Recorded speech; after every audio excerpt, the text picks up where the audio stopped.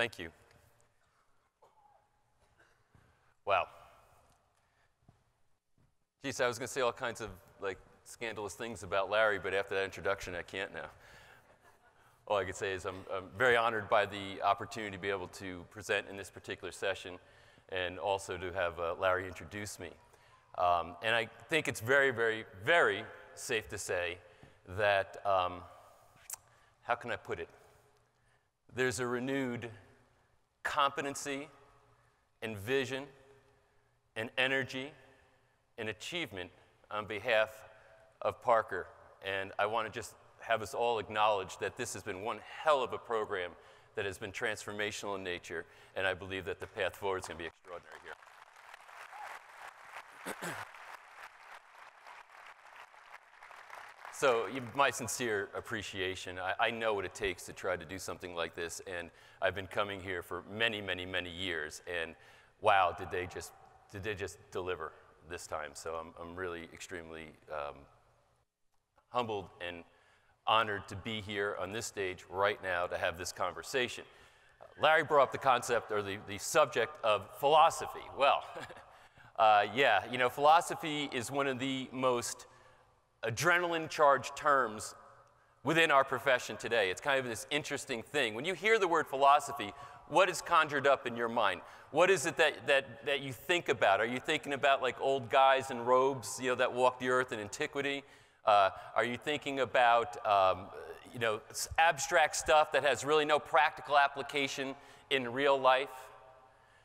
It's been a polarizing subject within this profession, and I believe that the, the rhetoric around it, the angst that it's created, the infighting that has been a byproduct of philosophy has been completely misguided. Case in point, I'm in Atlanta, Georgia some years ago, and I'm at a, a meeting, uh, and there were some members of uh, the Board of Chiropractic Examiners in the state of Georgia, which I won't name, and uh, we're having a conversation, and one of them says, Philosophy. Uh, I don't you know, I, I don't think we should give continuing education credit in the state of Georgia for that philosophy stuff, as he put it. And I said, Do you even know what the word means? And he said, Well, you know, philosophy, you know, that, that philosophy stuff that they teach at you know, some of those schools. Those schools. And I said, Can you define the term philosophy for me? Can you tell me the branches of philosophy? Can you tell me branch by branch how they apply to chiropractic or to healthcare in general? I said, Can you tell me anything about the subject of philosophy? Do you realize that the position you're taking right now is a philosophical position? You are so intellectually impotent that you don't even know what the word means, yet you're trying to assert that chiropractors in the state of Georgia, which I have a license there, should not get continuing education credit for courses in philosophy. And quite frankly, I, am uh, well, I'm not going to hold anything back here. I, I have zero tolerance for intellectual incompetence that tries to orchestrate agendas within the profession that would limit what chiropractors can do to get their service to their communities to help people who so desperately need it.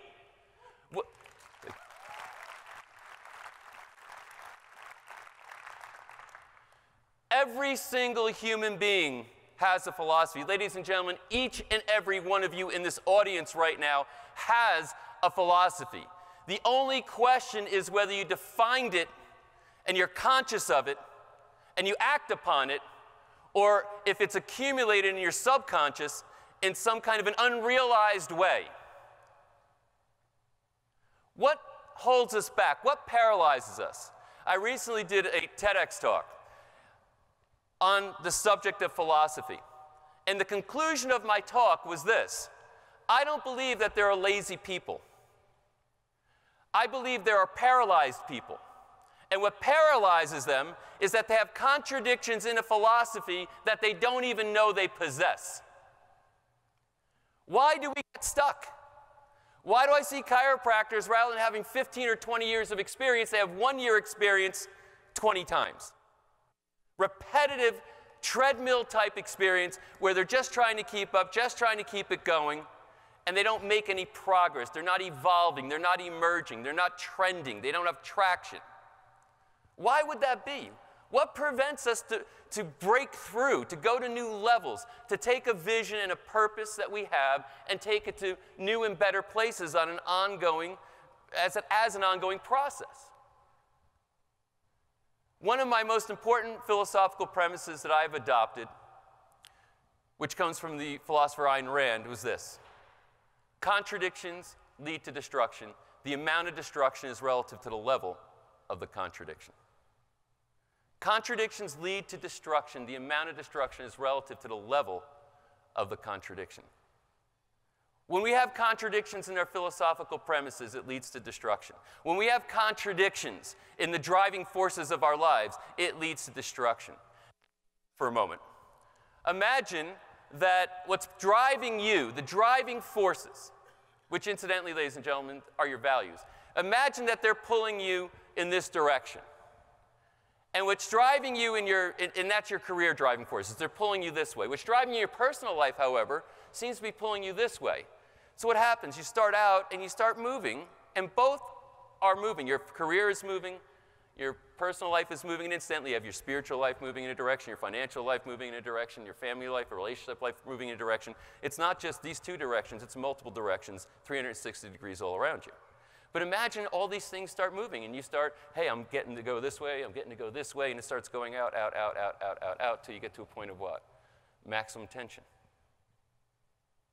How many people here know something? Well, maybe I'll, I'll back up one step. How many people here would like to see that their practice or life improves somehow when they go home on Monday? Show of hand. Kind of a dumb question, right?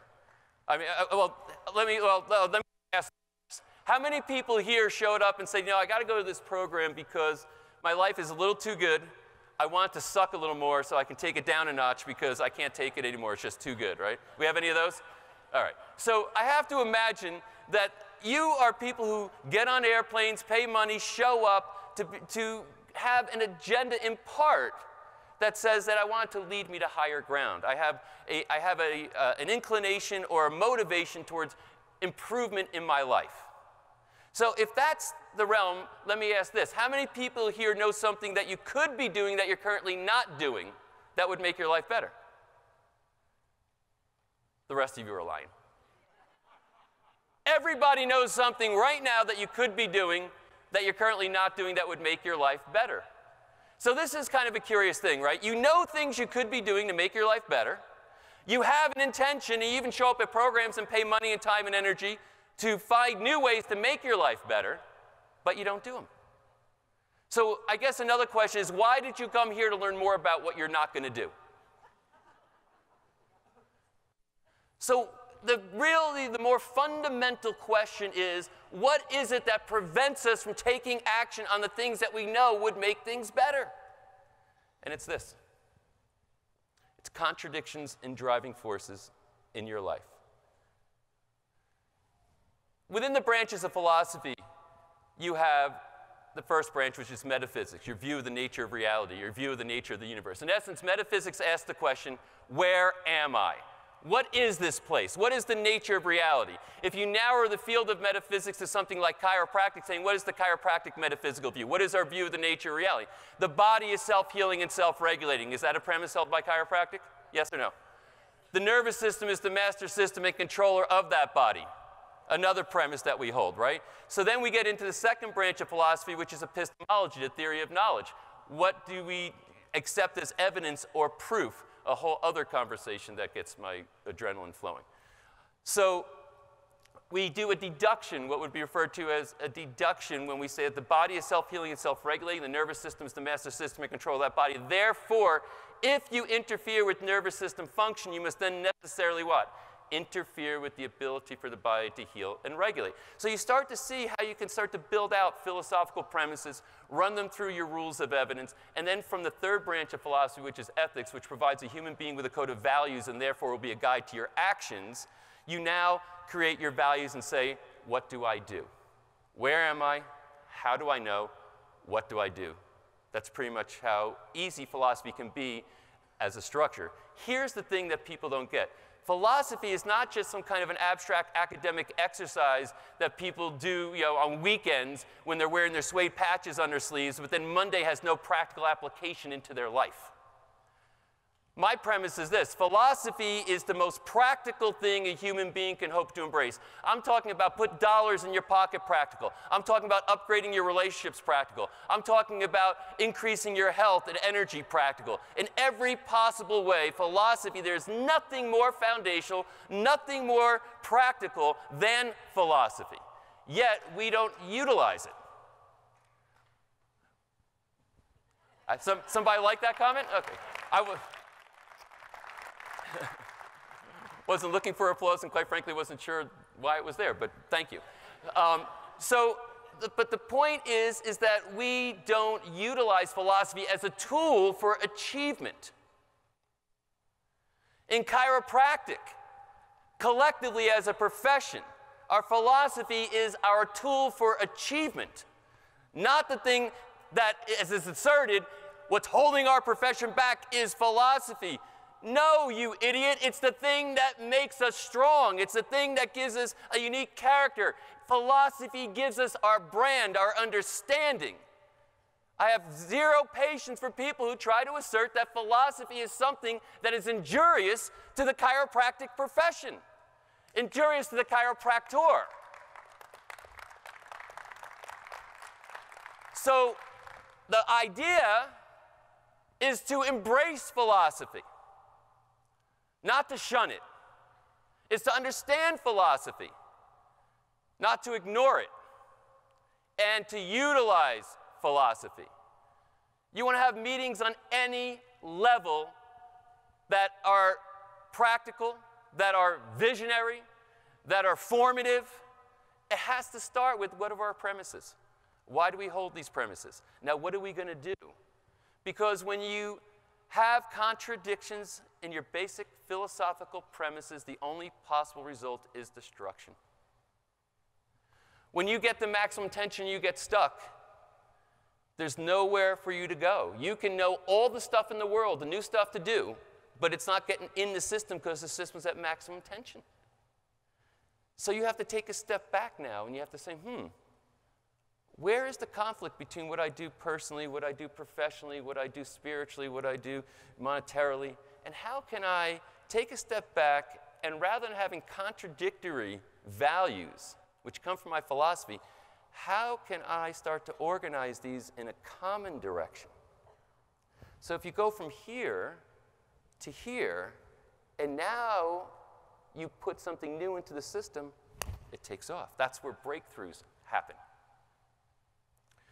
A while back, I tweeted something. Uh, you see me, you see me get caught when I say I tweeted? How, do you, how, do you, how are you supposed to feel masculine and say that word? Somebody explain that one to me. I mean, am I the only one that has a problem with that? I did something on Twitter. I don't tweet. All right, I tweeted. So, I tweeted this. Sorry. It's my own hang up. I'll have to research it. All right, so I said, a sure way to know that you've got contradictions, because you say, well, how do I know if I have contradictions? How do I try to identify them? A sure way to know if you've got contradictions is if right now you're sitting with the sentiment that where I am is not who I am. You understand what I'm saying to you right now? Where you feel like if I look at my life and where I am in my life, it doesn't, when I think about who I am, or I have this concept of who I am, it doesn't match up. Where I am is not who I am. And that's the time to say, then you have contradictions that are preventing the expression of who you are. And the tool that solves that is philosophy. Do you understand the relationship between philosophy and new patients? Do you understand the relationship between philosophy and money? Do you understand the relationship between philosophy and patient retention? Do you understand the relationship between philosophy and marketing? Do you understand the relationship between philosophy and everything in your practice?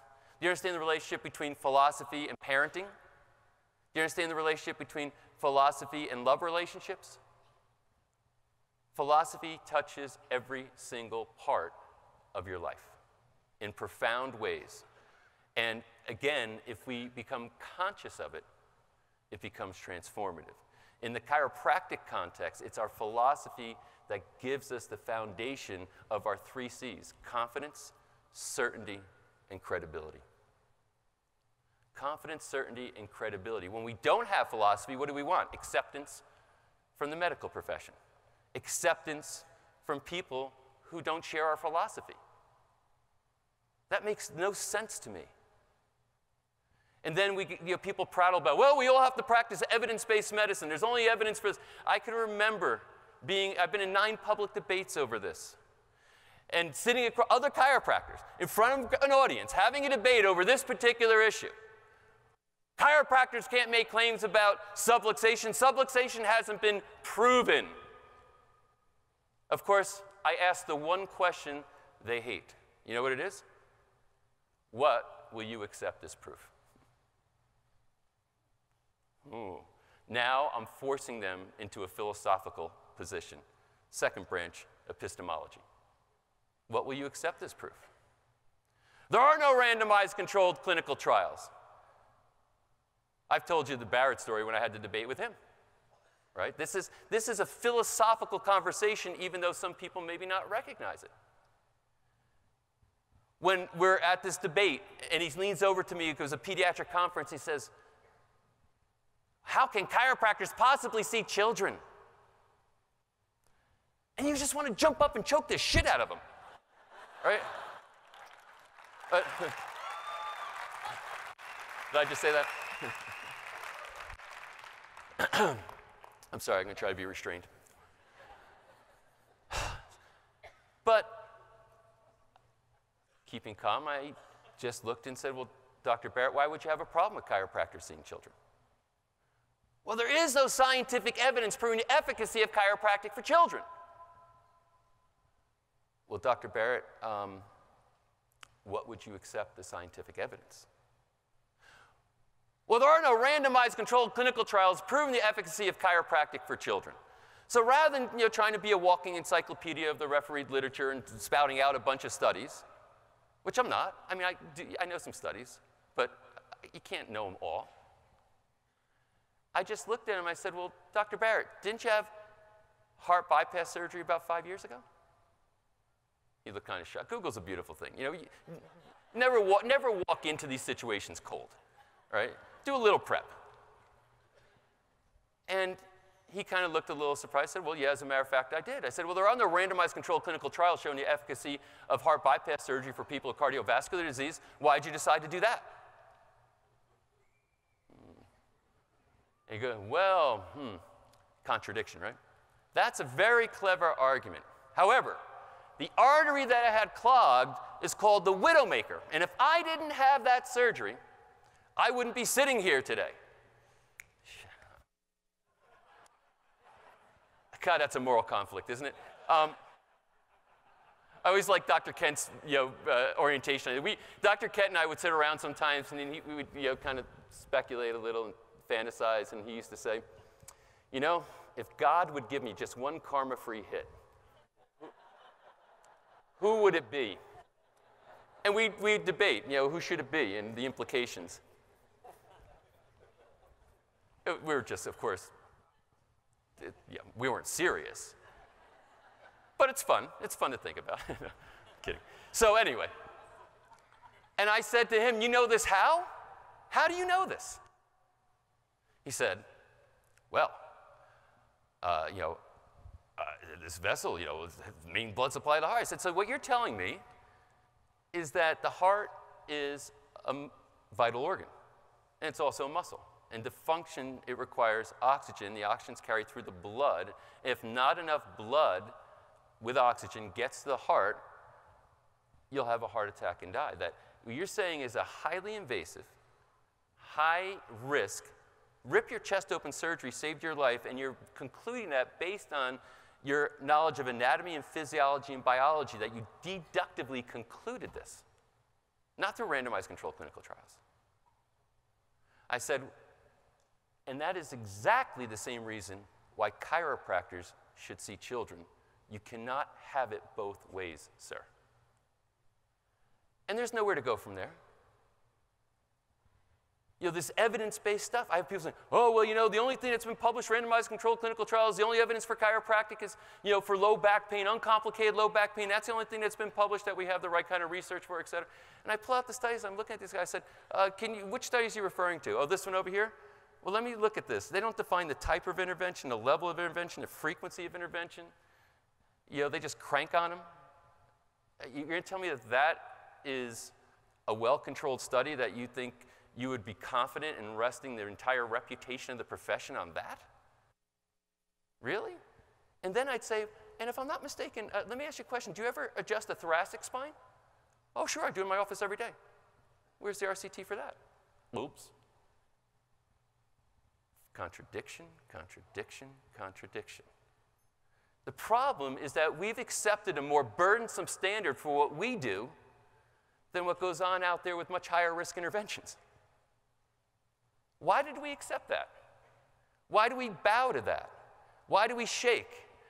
You know, when you look at the evidence that supports subluxation based chiropractic care, it's not just deduction, body is self healing and self regulating, and nervous system master system and control that body. Therefore, if you interfere with nervous system function, you interfere with the ability for the body to heal and regulate. It's not just that. It's not just induction, which we have, which are randomized controlled clinical trials showing the efficacy of chiropractic in many situations. And incidentally, on the RCTs, one of the things I'll tell you, what do we have? RCT is a chiropractic headache. RCT is a chiropractic in dysmenorrhea. RCT is a chiropractic in back pain. RCT is a chiropractic in a, a numerous types of conditions, musculoskeletal or organic. But here's the thing. And this is the thing that you must understand, which is a foundational premise in chiropractic that if you don't get this, you stay a little bit in conflict and, and, a, little, and a lot in contradiction. Regardless of condition, the intervention is what? The adjustment. We don't have the headache adjustment versus the dysmenorrhea adjustment versus the infantile colic adjustment, do we? Regardless of the condition, the influence of the adjustment is as wide as the influence of the nervous system. So we don't have to get into this whole, oh, we need to test every disease in the Merck manual to substantiate what we do. But we do have very solid foundations deductively. We do have inductive research which further supports those deductive foundations. We also have outcome assessment, which is what I dedicated a couple of decades of my life to, developing the Insight Subluxation Station with Dr. Christopher Kent. Why? Because I found myself in practice selling a product I wasn't sure I was delivering. I found the contradiction in my practice was that I'm selling this thing called spinal correction, improved health through improved neural performance, that we don't rely on symptoms to determine if you need care or not, but my testing and evaluation foundations were steeped in traditional medical orthopedic and neurological testing. Which incidentally I was teaching in diplomate programs. It's not that I didn't know this stuff. I could tell you the 12 cranial nerves, whether sensory motor or mixed, what they're for, how to test them, deep tendon reflexes, superficial reflexes, pathological reflexes, what nerves go to what organs from what segmental levels of the spine, several orthopedic tests I could probably tell you. I haven't done them in a long time, but I could think about probably and remember many of them. And I can tell you that if you're relying on those tests to determine whether or not your patients need an adjustment, there's a lot of people walking out of your office not getting the care they need. So it's a contradiction. If you wonder why, I mean, think about it. What most chiropractors tell me, my vision is a lifetime family wellness care practice. That's what I want. What I've got is a back and neck pain center. What lies in the gap between vision, what you want, and reality, what you've got, what lies in that gap is contradiction. And the bigger the contradiction, the wider the gap. And as you start to eliminate contradictions and act congruently in your life and practice, you start to see the gap closing until you get to a point where you're living your vision. You think philosophy's got some power and influence? You better believe it because that's how you find that stuff out.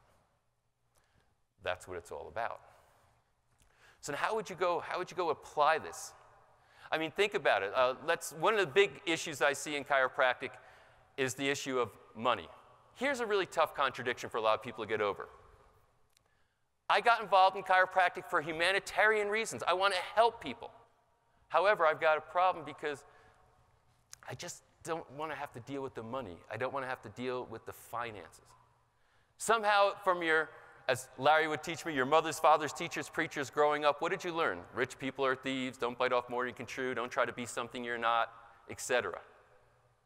You learn that you want to become selfless in your service. And I think there's a couple of contexts to that. But if you don't define what you mean by selfless, it could be problematic.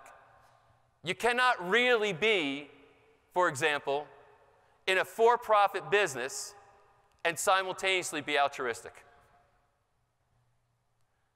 Selfless. What does selfless mean? Less than self. What's profit? Profit means that there's a gain. No gain, no profit. Selfless means there is no gain, it's selfless. It's an action from which you derive no gain, as where profit is an action from which you derive a gain. You cannot simultaneously be, be profitable and be selfless. So, what a lot of chiropractors do, they become marginally selfless. They're selfless enough to just get through week by week, month by month, praying for another insurance check to come in the mail to try to make rent. And they, and they get into this, this frustrated situation. They want to help people. You want to help you? The best way to help the poor, here's a premise for you the best way to help the poor is to not be one of them. You can't be in a for profit business and simultaneously be a charity. Now, I am not saying don't be charitable. I am a big believer in charity. I think charity works. It works a whole lot better in government. So I believe, yeah. I believe in charity, but your business can't be a charity. You can't be for profit and charitable all at the same time. So, how do you resolve that?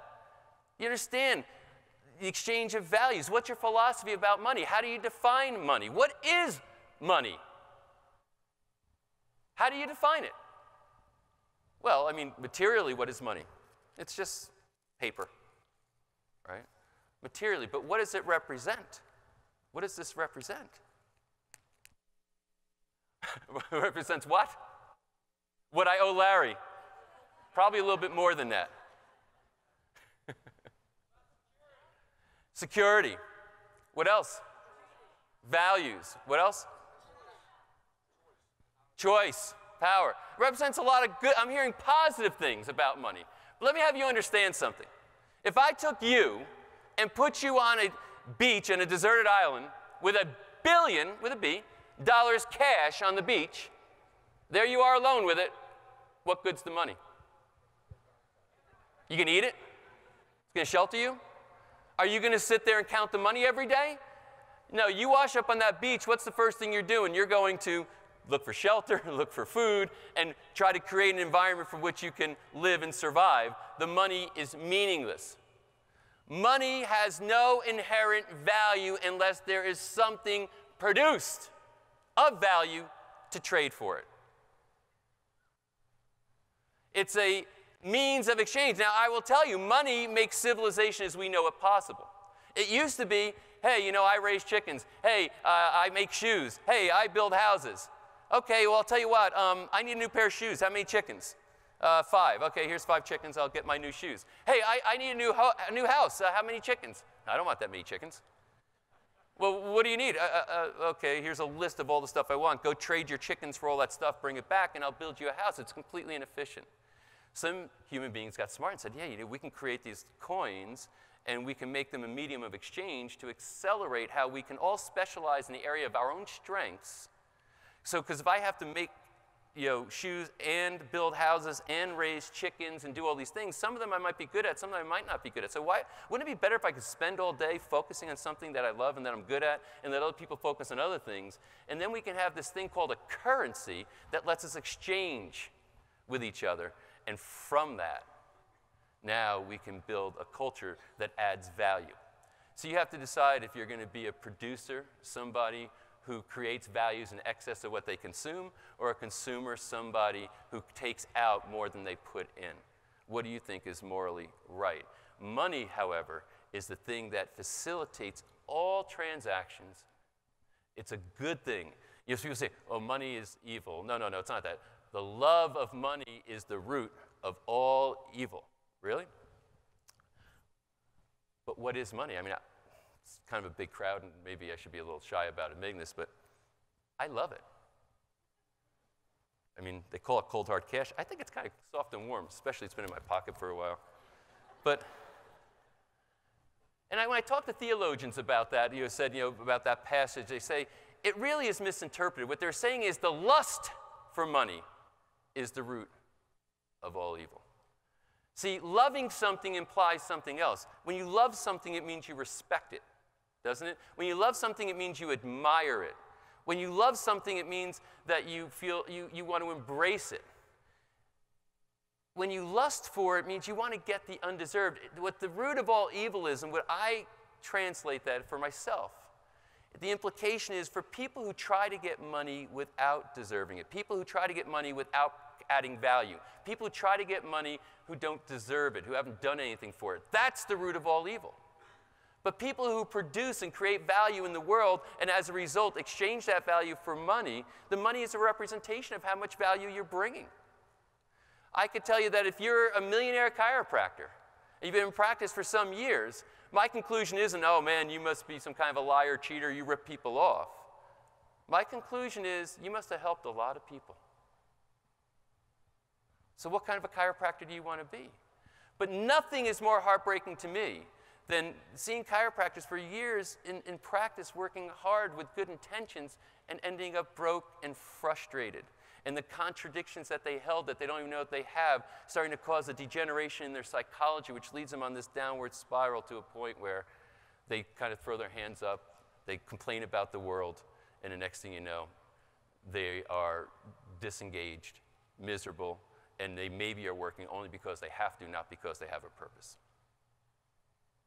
That's what contradictions do.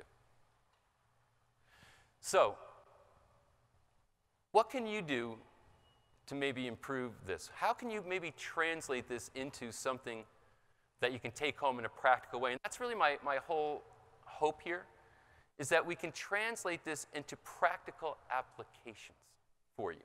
That you can start to utilize philosophy as a tool for your achievement, as it should be that you can not only embrace philosophy as a chiropractor and refine your chiropractic philosophy, but you can also utilize philosophy as a tool for your growth and expansion as a human being in general. That you can be a better parent, that you can be a better spouse, that you can be a better everything, that you can use it to improve your health, your energy levels, your bank accounts, your spirituality, in all the ways that it can and should be done. And it's not an easy thing. You, can, you don't just wake up and say, okay, you know, I snap my fingers and done. You have to, if you want to do this, it requires your effort, it requires thinking.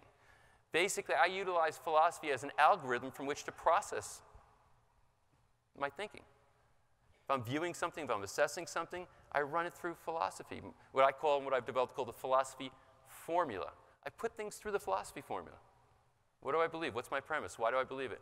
What am I going to do about it? If um, philosophyformula.com, there's a free training that's going to be coming out in that in about two weeks. So if you go there and just opt in, philosophyformula.com, I'll have three free videos on it. You can go there if you want to dig deeper into some of these areas. I obviously don't have the time here. But ultimately, I think chiropractors get this close, but they, they miss one thing. How many people here would say they're on purpose? Raise hands. It's hard for me to see with the lights, are very bright. So you have a purpose, and purpose is important. And Dr. Kent and I created On Purpose Audio for over 20 years. We've been doing it. I believe in purpose as a foundation for how we achieve in life. I believe, you know, I was watching this movie on the, on the way over on the plane, and the one of the main characters says to the other main character, What does every human being want? What do you think every human being wants? And the, person th- the other person thinks about it and says, um, I'm not sure. Love? And the person looks at him and says, No, a purpose and it's true. But there is no purpose without what? Philosophy. Your purpose comes from your philosophy. That's where it emerges out of. So I want to just briefly cover the five steps from philosophy to prosperity to see the practicality of how all this comes together. There are five P's basically that lead you there. The first P is philosophy, which we've been talking about, and I think that we've given a pretty good amount of, of uh, orientation toward. Out of that third branch of philosophy, remember the first branch, metaphysics. Where am I? The second branch, epistemology. How do I know? Third branch, ethics. So now what do I do? So purpose is really your moral compass, isn't it? It's your ethics, it's your values. You can't just say, well, I have these values. Why do you have them? Because there's some foundational view of reality that you have and some way that you know or you conclude on that view. Therefore, now you have values. These values then orchestrate your purpose or emerge into your purpose. So there is no purpose unless there's first philosophy. And if you understand philosophy, you can clarify your purpose on a higher level. And I've seen practices literally double just from getting a little bit more focused on their statement of purpose. Change nothing else. Because most people, here's what most people are thinking right now. Well, you know, can you tell me how to do a better report of findings? That will help my practice. Can you tell me to do a better consultation? That will help my practice. Not if there's contradictions down below Proceed, if I teach you all the exact same marketing procedure right now, and you all go out and flawlessly execute it exactly the way that I teach it, do you realize that you're going to all get different results with it? It's not the procedure that gets the result, it's who the person is doing the procedure that gets the result. And who you are comes from your philosophy. So you start down there. I'm not saying procedures aren't important, and I'll show you why in a moment. So you start with philosophy and you go to purpose. Purpose is the object for which something exists. So it's the purpose of your practice, it's the purpose, it's the, the reason your practice exists. It is the reason that you exist if it's your own personal purpose. Purpose is the object for which something exists. What makes you different than every other form of animal on the planet is the fact that you can choose a purpose. A dog cannot choose a purpose for its life. If it could, it probably would not live with you. Right? You think I'm kidding. a cow could not choose a purpose for its life. If it could, there'd be no such thing as McDonald's. What makes you uniquely human is the fact that you can choose a purpose. Why? Because we have a prefrontal cortex. We can think abstractly. We have the capacity for abstract conceptualization, which means we can think about our, our history behind us, our ancestry behind us. We can think about the legacy that we want to leave. We can think about our lives abstractly and then as a result take action on it. If you don't have a purpose, then you're living like every other form of animal on the planet in a thing called survival and a thing called pain pleasure. So, what happens? You will constantly move away from pain and try to move towards pleasure with no direct compass saying, I go in this direction, but you're just trying to survive it day to day, week to week, month to month which is what every other animal does. That's a condition referred to as mediocrity. And it's 80 plus percent of humanity lives that way. They don't have a clearly defined purpose, they don't act upon it. Their only hope is to try to survive this chaotic flux that they have no context for in philosophy called life on planet Earth in this particular universe. However, when you have a purpose, and this is where I disagree with some of the self-help gurus. Oh, everything's pain pleasure. You, you, you know, I, can, I can identify every action that you take, every decision you make is either moving toward pleasure or away from pain, and that's why you do it. That is wrong. It's the wrong way to live. When you have purpose, pain and pleasure are going to come and go on an alternating basis, isn't it? Don't we always experience some pain, some pleasure along the path? But your constant companion is this thing called purpose. That's what gets you through the pain. That's what gets you to celebrate the pleasure. But purpose is the constant companion, and it emerges from your philosophy. So your, your philosophy and your purpose are cause. That causes every other outcome in your life. Three effects. The first effect is psychology. This is another thing. We have too many self help junkies in the world, right? They go, they get pumped up, they take the new program, they come out to the new seminar, and they're pumped up. They go back to their offices, and they're doing great for a couple of weeks, and then what happens? Uh, crash. Okay, let's go to the next one. We're up and we're down. We're up, we're down. And there's this roller coaster ride going. I call it our merry-go-round. It's the self help junkie. Why? Because if you try to just manipulate your emotions without changing anything about your foundational philosophy, you're always going to get dragged back down to your premises, your contradictions, and you're going to always go to that level and you're going to be frustrated. Why do I keep coming back? Why do I seem like I'm making traction and I keep coming down? Because the contradictions in your foundational philosophy are holding you there. And until you change that, there's no breakthrough. So they become self help junkies. They have the desire. That's why they keep reading the books, listening to the programs, coming out to the seminars. But they don't break through. Up, down, up, down. Emotions are secondaries, they're not primaries.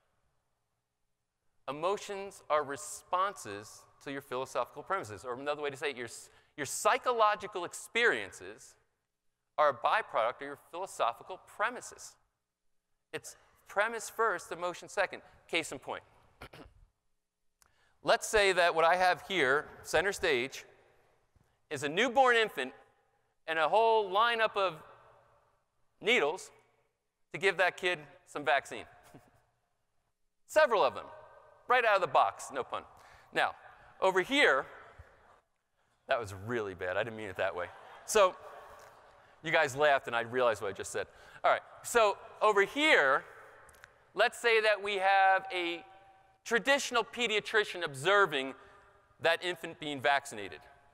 And over here, let's say that we have a traditional chiropractor watching that infant being vaccinated. So you got two grown human beings simultaneously watching the exact same thing at the exact same time. And they both are accurately perceiving what's going on, correct? Now, what's the emotional experience of the pediatrician watching this? Happy? Oh, good. Another one saved. What's the emotional experience of the chiropractor watching this? Horror. So, how is it that two sentient adult beings who have advanced degrees in education can watch the identical thing, the exact same thing at the identical time and have completely opposing emotional reactions to it. What's the difference between the two of them? Philosophy. Your philosophical premises will shape your psychological experiences.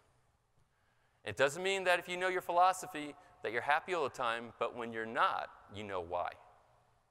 When you have mixed emotions, when you're sitting there saying like you have like conflicting emotions around things, you know what that means? Contradiction.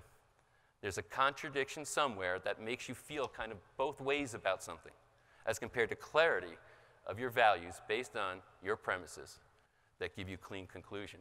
Incidentally, we're not perfect, folks. We're never contradiction free. We're never purely contradiction free. E advancement in life is removing contradictions over time to get there. Okay. So, we have philosophy, purpose is cause. The first effect is psychology. The second effect is procedure. Now procedures get plugged in. Why? Imagine if your procedures are in contradiction with your purpose. You see? Procedures are necessary to get to prosperity, but they don't cause it. They manage the effects. It is philosophy and purpose that are cause. You, you, procedures need to properly and congruently manage the effect. So when you go in and say, okay, I want to make my practice better, fix my practice, grow my practice, my relationship, my parenting, whatever it is, and you want to do it through new procedures, if you don't deal with what's down here at the foundation, which is philosophy and purpose, the new procedures don't really help you. If you're seeing X amount of patients per day, 20 patients a day, and you learn new procedures, maybe you'll get better at seeing 20 a day. you're not going to go to 40, 60, 80, 100, or wherever it is you want to be, unless you work down here first and then you work towards those outcomes. Now, if the procedure is the only thing holding you back, meaning the contradiction in procedure is the only thing holding you back, then they would be a breakthrough. Short of that, they are not. So if you line up your philosophy, your purpose, your psychology, and your procedures, now, the ultimate effect of all those things is prosperity. That's when prosperity occurs. Now, you'd say, okay, that's great. I want to be prosperous. When I say prosperity, I'm not just talking about money, I'm also talking about spiritual wealth. Here's the biggest contradiction I know about prosperity, about money. People think that material wealth and spiritual wealth are all are on two sides of a continuum. That as I move towards material wealth, I have to necessarily move away from spiritual wealth. And as I move towards spiritual wealth, I must necessarily move away from material wealth. Okay, so pick one. Which would you rather be, materially wealthy or spiritually wealthy? Would you rather be a liar or a sucker? Right? I mean, isn't that one hellish contradiction?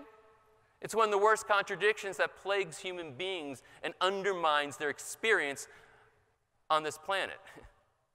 the fact that they believe they have to choose either spiritual or material wealth, that they can't have both because they're on opposite sides of a continuum. What I'm here to tell you is that that's a faulty premise, that's a full contradiction that keeps people either broke or corrupt. Material wealth and spiritual wealth are not opposing forces.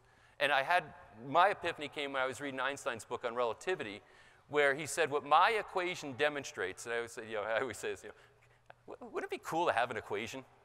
Would you like to say what my equation demonstrates? I'd like to be able to do that. My wife now tells me because I created an equation for philosophy formula, I have an equation, but I don't think it's quite E equals mc squared. So what my equation demonstrates is that matter and energy are both manifestations of the same thing. Matter and energy are both manifestations of the same thing. Hmm. What do you mean? E equals mc squared. E is energy. M is matter. Energy is equal to matter times c, the speed of light squared, 186,000 miles per second, big number. But there is a relationship between matter and energy that they both are manifestations of the same thing. E, energy, spiritual. M, matter, material. Spiritual wealth and material wealth are not opposing forces. They're both manifestations of the same thing. If you're living on purpose, if you're adding value to the world, and you're being rewarded materially, you're also being rewarded materially. Some people say, What about Mother Teresa? Mother Teresa took a vow of poverty, and, and look at her spiritual wealth. Listen, Mother Teresa flew around this earth on private jets. I, I don't fly on private jets. Oh, yeah, but she didn't own them. Listen, if somebody wants to give me access to a private jet to go anywhere in the world whenever I want, you know, um, and I don't hold title to the jet, I'm cool with that. I'm fine. It's okay. The strength of Mother Teresa's purpose was so strong, she attracted the material wealth to her necessary to actualize that purpose. When your purpose is strong, you will attract the material resources necessary to make that purpose a reality in the world. If your purpose and you are full of contradictions, then you don't attract. It doesn't come in. But when you get focused and clear on what your purpose is, and you're vibrating at that frequency, you start attracting it to you. And when you attract it to you, now you money to you is not a means of quitting what you do. If you say, well, if I had this much money, I'd stop doing. I called the $5 million question. If I gave you 5 million bucks right now, are you going back to work on Monday? Chiropractor said to me after I asked him that question once he thought about it, he said, yeah, to tell the patients I won't be back for a really long time. and I looked at him and I said, and that's why you'll never have 5 million bucks. If money becomes a means of stopping what you're doing, if money becomes a means to stop your purpose, you're never going to have the money. But if you said, oh, if I had $5 million, maybe sure, upgrade your lifestyle, better house, better car, better vacations, whatever. But if you start to think, man, what I could do to expand my practice, to add associates, and now Money becomes a means of expanding the range of your vision, of your purpose, of what you want to create in the world. And when that is authentic and real, you will attract to you the material resources to make that a reality. Yeah.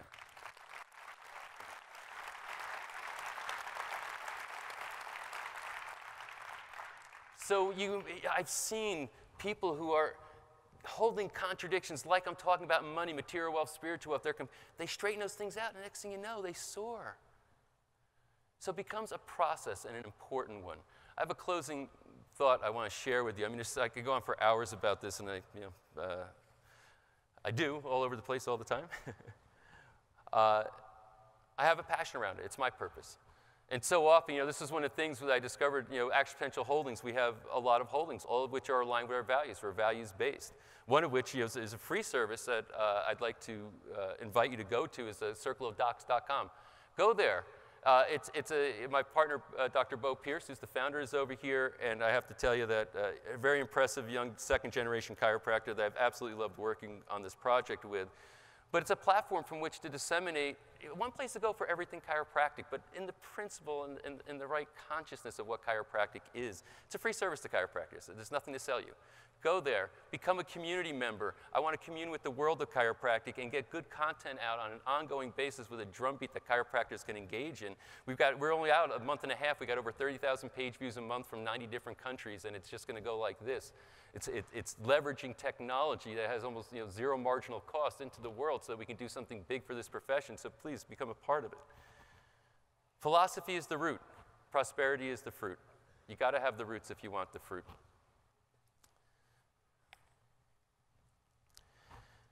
So I'm going to read to you what I was going to open with and leave you with this.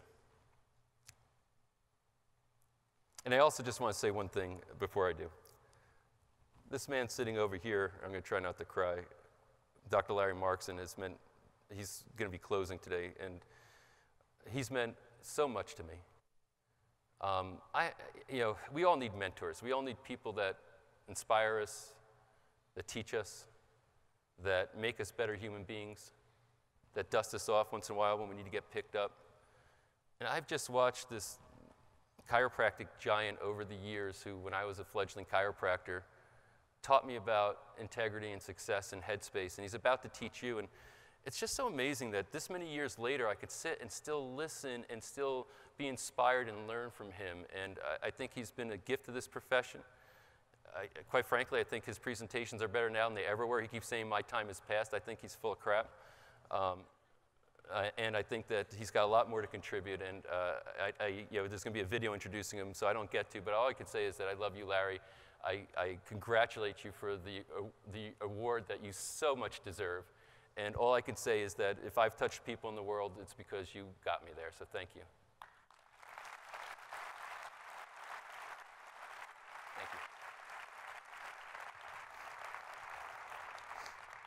So here's what I wrote for you that I, I was going to open with, but I never got to it. I love life. And that's a sentiment I wish for all human beings.